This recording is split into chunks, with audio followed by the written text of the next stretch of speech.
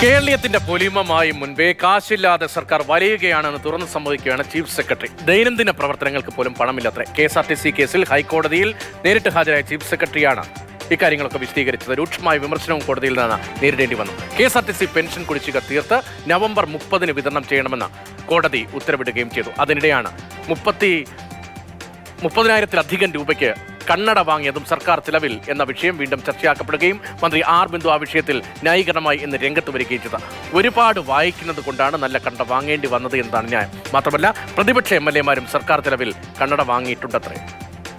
ഇപ്പോ എൽദോസ് കുന്നപ്പിള്ളി യൂത്ത് കോൺഗ്രസിന്റെ നേതാവാണ്. മുപ്പത്തയ്യായിരത്തി എണ്ണൂറ്റി നാൽപ്പത്തിരണ്ട് രൂപ കണ്ണടയുമായി ബന്ധപ്പെട്ട് അദ്ദേഹം വാങ്ങിയിട്ടുണ്ട്. ടി ജെ വിനോദ് മുപ്പത്തോരായിരത്തി അറുന്നൂറ് രൂപ ഞാൻ വിശദാംശങ്ങളിലേക്ക് പോകുന്നില്ല. എല്ലാ നേതാക്കന്മാരും ലിസ്റ്റ് നിങ്ങൾക്ക് പരിശോധിക്കാവുന്നതാണ് അന്വേഷിക്കാവുന്നതാണ്. ഇത് ഞാൻ ധാരാളം നന്നായി വായിക്കുകയും കമ്പ്യൂട്ടറൊക്കെ നോക്കുകയും ചെയ്യുന്ന ആളാണ്. അതിന് തക്കതായിട്ടുള്ള ഒരു കണ്ണടയാണ് വാങ്ങിയിട്ടുള്ളത്.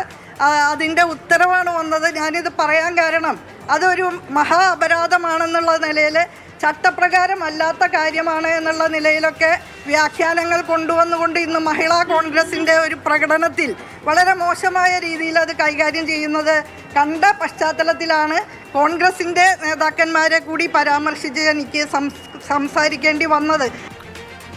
കണ്ണടയിൽ മാത്രമല്ല കേളവർമ്മ തിരഞ്ഞെടുപ്പ് വിവാദത്തിലും മന്ത്രിയെ വിടുന്നില്ല പ്രതിപക്ഷ സംഘടനകൾ ഇന്നും. തലസ്ഥാനത്ത് ഇന്ന് വൈകിട്ടും മന്ത്രി ആർ ബിന്ദുവിന് നേരെ കെ പ്രവർത്തകരുടെ സംഘടനയുടെ കൊടി വീശി അവർ പ്രതിഷേധിച്ചു. മന്ത്രി മാധ്യമങ്ങളെ കാണുന്നതിനിടയിലായിരുന്നു ഈ അപ്രതീക്ഷിത പ്രതിഷേധമുണ്ടായത്. പ്രവർത്തകരെ പോലീസ് അറസ്റ്റ് ചെയ്ത് നീക്കുകയായിരുന്നു.